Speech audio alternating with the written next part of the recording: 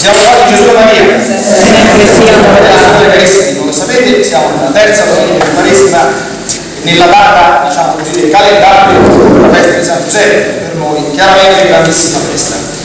Per cui questa nostra riflessione sarà divisa in due parti prima parte il Vangelo, la seconda parte un riferimento ad una virtù di San Giuseppe, non vi anticipo così facciamo un po' di suspense, che è chiaramente connessa al Vangelo che abbiamo ascoltato. Guardate che la bomba nota di questo Vangelo, eh? il Vangelo della Samaritana ci farà, ci aiuterà a capire via annuncio subito così ci introduciamo alcuni problemi di scottantissima attualità ecclesiale di cui alla luce di questo Vangelo tutte le nuvole sgradiranno, tutte le ombre saranno ammantate dalla luce. Bisogna capire un paio di cose. Avete È lungo il Vangelo, è stato lungo? Ricordate che è stato lungo, eh? Mamma quanto è lungo, eh, perché alcune cose richiedono del tempo, come vedete. Allora, la donna samaritana. Allora, dovete sapere due cose. Qual era il problema di questa donna samaritana? Vediamo che voi non ha capito a cui Gesù ci lavora piano piano però non di subito che c'aveva cinque mariti aveva fatto un po' l'istero eh? L'istero no ha fatto concorrenza all'istero che c'era un di nove insomma però la samaritana c'era stata abbastanza da fare giusto? diciamo stava in una situazione che oggi definiremo irregolare giusto? seconda cosa avete visto dice appena ci si avvicina e si avvicina facendo un gesto di vicinanza Oh, tenete presente una cosa, per credenti, per un rabbì, parlare con una donna sarebbe significato la condanna, cioè tu sei proprio una mezza tanca, perché con una donna non, non ti abbassi a parlarci. Dovete entrare, era così, non, non storcete, non fate le riviste, era così, d'accordo? Cioè, se un, già se un uomo parla con una donna non ne parliamo, se un rabbì parla con una donna è la morte potenzialmente più nessuno non solo che ci parla si avvicina e chiede una cosa a lei dammi da bere e tanto è vero che Dio risponde ma è senato capisci no? come mai tu tra l'altro sei un giudeo adesso lo vedremo subito chi ti perché sono samaritani i samaritani erano scismatici rispetto ai giudei ed eretici si erano staccati da Gerusalemme avete visto quando la donna gli chiede senti un po' ma che dobbiamo fare che dobbiamo andare a Gerusalemme, invece questa nostra religione gli dicono che dobbiamo farlo qui sul Monte Carizio, che dobbiamo fare? E Gesù bypassa la questione la, la salvezza viene dai giudei, però il problema è che oltre, io l'ho trovato non in pochissimo ma nel cuore.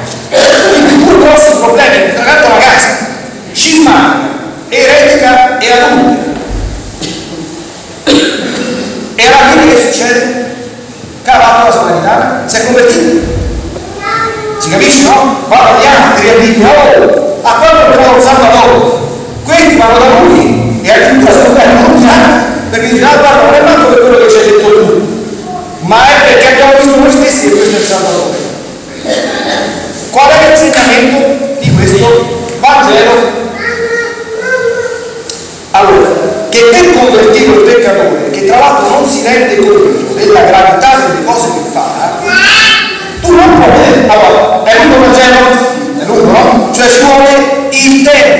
che tu innanzitutto ci intessi un rapporto, un dialogo fraterno, d'amore, t'avvicini a lui e poi ci porti piano piano. Se fare un Vangelo più breve, Gesù le diceva, tu adultera e scismatica, lascia il concubino e ritorna al paese. Parola del Signore, non del Cristo. Ma secondo voi la donna si convertiva se Gesù avesse fatto così? Ah, allora, vogliamo parlare un po' di Papa Francesco e della comunione dei divorziati? Che qua in India lui dice una cosa e tutti se lo tirano per la giacchetta a fare il contrario.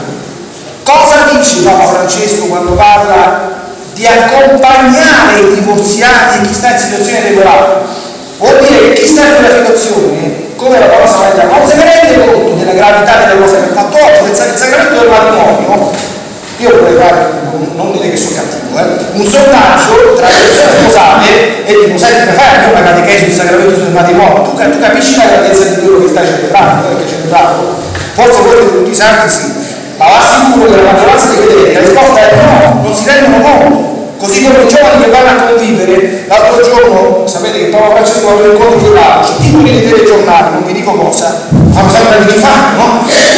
Papa Francesco ha dei conviventi, li ha benedetti. Ma miseria, ah, dico, se fa così, non è vero, se voi sentire il discorso, cosa raccomandate parroci, che se arriva una volta di conviventi, non andare subito a dire, ah, vai all'inferno, perché il fine del parroco è che tu a questi fai capire la gravità di quello che hanno fatto, perché non si rendono conto, io ci sto contatto da anni con i conviventi, se tu vieni a fare pazzo dei conviventi, ah, sono finiti questi matrimoniali oggi, eh? perché purtroppo la maggior parte dei ragazzi convive, allora quello fa che ammazzare che sparano e decide di all'inferno è con questa situazione è risolvibile perché se queste persone capiscono che stanno peccando, stanno lontano da Dio entrano nell'ottica di eh, salvare questa situazione, la sanno cioè il fine è la salvezza degli altri allora questo è il contesto in cui dobbiamo capire questi discorsi capite? cioè prendere un anno accompagnarlo fare io ve lo sto dicendo anche in Quaresima qual è il fine della Quaresima? e cos'è la conversione? Non lo sentirete dire fino alla nascita, l'ho detto anche domenica scorsa. La mentalità contemporanea ha il senso del peccato. Ci sono persone, forse anche io, forse anche tra di noi, che oggettivamente fanno delle cose gravi davanti a Dio, ma non se ne rendono conto. Cioè, quando vanno a dire, ma padre, io non faccio niente di male, non è il minimo, dicono la verità perché la loro coscienza non ne vede certe cose. Allora che facciamo? Arriviamo a un altro e cominciamo Tu l'anima la devi accompagnare e piano piano, con calma, con gradualità, si apre il cuore. La donna samaritana ha accettato la mano che gli ha Gesù. Non ha detto, guarda che un Dio, ci voglio fare una mano con te. Cioè, lui mi ha teso una mano, ma Gesù l'ha presa, cioè la donna samaritana l'ha presa.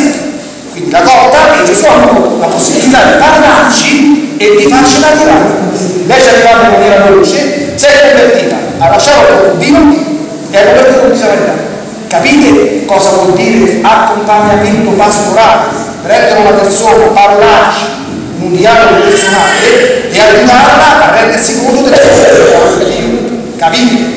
Quindi state attenti, perché qui oggi c'è proprio parlare, l'ho fatto anche con me social eh? cioè uno dice una cosa, ti prendono, ti strumentalizzano le cose che dici perché? Perché pensano loro certe cose, cioè tutto il mondo civile sta aspettando che la Chiesa dia la benedizione al peccato capite? Ma la Chiesa la benedizione al peccato non lo può dare, cioè non ha il potere di farlo, capite? Nessuno, e il Papa non c'è nessuna intenzione di farlo. Io non so cosa sta nella testa di Papa Francesco, so che è il Papa, quindi il Papa non può avere nessuna intenzione di benedire il peccato. Come alcuni media avrebbero fatto, passare telegiornali e come. E purtroppo, vi dico per esperienza, alcuni fedeli che purtroppo queste prede non le sentono, ma sentono telegiornale, ti passa questa idea. Capite? Che quando incontro un doponato o chi oh, ma però questa è il prossimo non è vero. E dopo devi spiegare. Quindi attenzione alle cose, state sempre attenti a, essere sempre molto molto eh, sensibili e intelligenti, capite? Perché noi siamo un mondo eh, che strumentalizza le cose che noi diciamo o facciamo sotto tutti i punti di vista capite? Quindi fidatevi dei pastori, non dei mass media. Fine del dire, abbiamo capito bene, eh? Adesso andiamo San Giuseppe, sapete che San Giuseppe, tra le altre virtù, già ha avuto 5 minuti. San Giuseppe aveva soltanto una sposa e di questa sposa è stato sposo, sapete come si vede da San Giuseppe? Sposo castissimo. Oggi vedremo un po' sulla castità di San Giuseppe. Allora, voi sapete che San Giuseppe, se io dovessi chiedere, ha amato la Madonna San Giuseppe? Sì o no? È stato vero matrimonio quello tra San Giuseppe e la Madonna? Ma loro si sono intrattenuti, perdonatemi se sono explicit, in atti coniugati sì o no? No, la Madonna è vergine prima, durante e dopo il patto. Non sono mai separati. Eppure l'amore di Giuseppe e la Madonna, la Madonna di Giuseppe è superiore a quello di tutte le volte che si siano acquistate. Altra cosa, Gesù bambino era figlio natale di San Giuseppe? No. E secondo voi San Giuseppe lo amava il suo bambino? Gesù bambino lo amava San Giuseppe. Quindi vuol dire che il fondamento della paternità non sta nella paternità biologica, ma sta del cuore. Allora, voi sapete che anche tra i coniugi, intesa in un senso buono, deve vivere, deve vigere la castità matrimoniale, non nel senso come le persone che non sono sposate, capite bene, ma nel senso che prima di linguaggio dei corpi, l'amore è il linguaggio delle anime, capite? La cosa più importante nel matrimonio è che ci sia un amore profondo tra lo sposo e la sposa, che precede comunque altra cosa. E dentro questo amore anche gli atti coniugali hanno senso, valore significato e sono pienamente espressivi, altrimenti diventano altro. Allora, c'è una parola, io sto usando questo libretto bellissimo, lo consiglio, che è Beato Bartolomeo, Beato Bartolomeo, fondatore del Santuario di Pompei, con Dio piacere, con molti andremo il 6 maggio, che parla appunto della castità di San Giuseppe.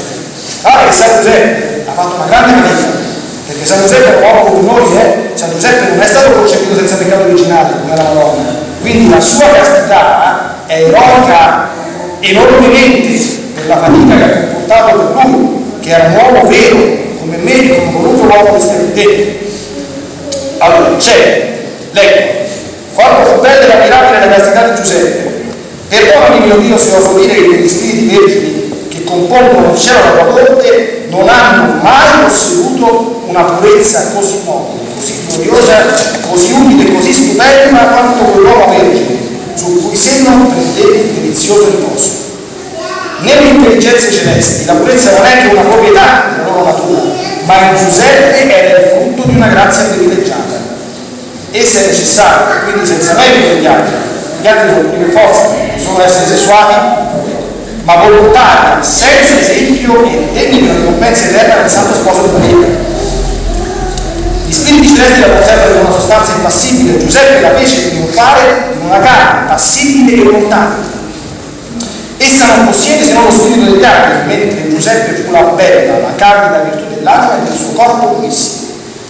La verginità di questo santo patriarca, per questo guardate in alto, oppure guardate le statue della figurazione che stanno in basso di San Giuseppe, è sempre raffigurato di nuovo il giglio, il bianco. Il giglio bianco è il simbolo della purezza. La verginità di questo santo patriarca era necessaria per l'adempimento del mistero dell'incarnazione, quale era stato disegnato nel cielo. Il figlio di Dio vuol dire, non ci sono le due vergini al mondo, quali io sono debitore della mia romana. Maria, da cui nacque in maniera tutta pura divina, e Giuseppe, che si è conservato sempre vergine per non impedire, per non impedire il nuovo miracolo della grazia. Anche Maria vuol dire, io devo l'onore della mia maternità divina a mio figlio, che mi ha letta per madre, ma anche al mio casto sposo, con cui il custode della mia virginità, senza la quale non sarei stata la madre di Dio. Una lingua lontana non sarebbe capace di esprimere quale dovette essere la santità e l'innocenza di colui che fu scelto tra tutti gli uomini ad essere lo sposo e il custode della cultura più santa di tutte le creature. E quanto la proprietà del suo cuore si abbellì per la sua unione con questa Vergine Immacolata. Il tuo angelo, io dico, non aveva detto a questa Vergine Purissima che una parola, e vedendola straordinariamente commossa si ritirò. Ma Giuseppe, più avventurato, gode l'intera libertà di parlare da solo a solo, di dimorare sempre con lei, di avere con lei quei dolci santi colloqui, i quali non solo non ci causano turbamenti dell'animo, ma vivificano e consolano. Poiché come scrissi San Tommaso all'Alessandro di Alla, la vista della bellezza di Maria ispirava a chiunque la guardava celeste fragranze, desideri di virtù e sentimenti di purezza. La presenza continua della Vergine delle Vergini che cosa non doveva operare sul cuore di Giuseppe, già puro quanto gli angeli, che dotato sin dalla sua infanzia di un amore singolare per la santa virtù della castità. Sotto la protezione di San Giuseppe o alle vie voi avrete la ventura di conservare una virtù che forma più bello ornamento della vita cristiana. Alle persone vergini Dio promette il centro di questa vita e la gloria eterna generale. Mi dice quell'anno che Dio concede questa vocazione. Le persone a cui tale cultura non è data cerchino per quanto è loro possibile di avvicinarsi alla virginità, osservando che è una castità che non viene dal loro stato. Chi non può offrire a Dio la virginità del corpo, offrirà la virginità della fede, che serva pure il cuore dall'alto del nostro dell'eresia del peccato, volendo capace di amore verso Dio, che talvolta supera l'amorissimo che a lui non. Santa Caterina da Setta, da Genova, che era sposata, la baronessa di Chantalla, Santa Giovanna Tremio, che era sposata, Santa Francesca Romana, spazio di oltre 40 anni, Santa Brigida Vedova ed altre, amavano Dio più che non migliaia di volte. Chi non si trova nel libro della virtù autentica non di essere sicuro come gli angeli, umiliarsi dinanzi a Dio e mettersi a capo nella sua misericordia.